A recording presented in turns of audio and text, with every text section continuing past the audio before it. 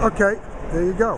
Hi, I'm Tim McNamara, and I'm here for the NCTM conference here in Indianapolis.